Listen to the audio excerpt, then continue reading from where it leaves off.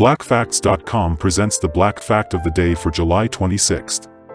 Executive Order 9981 abolished discrimination in the U.S. Armed Forces. Since the American Revolution, African Americans had served in the military, but almost always separately from white soldiers and usually in menial roles.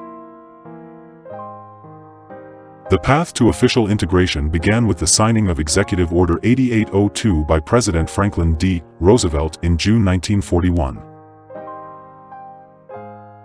It signaled the end of racial discrimination in the U.S. defense industry, but the armed forces generally hewed to a policy of segregation throughout the duration of World War II.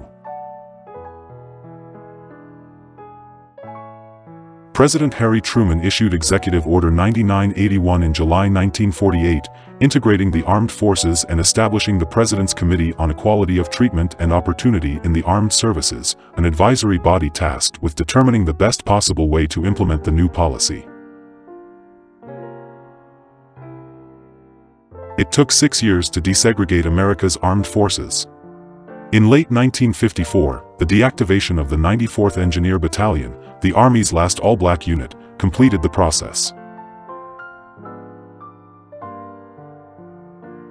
It was a crucial event in the post-World War II civil rights movement and a major achievement of Truman's presidency.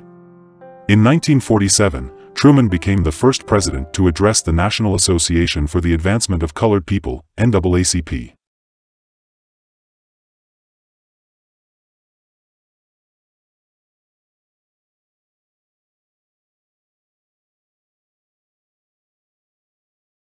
Learn Black History, teach Black History at blackfacts.com.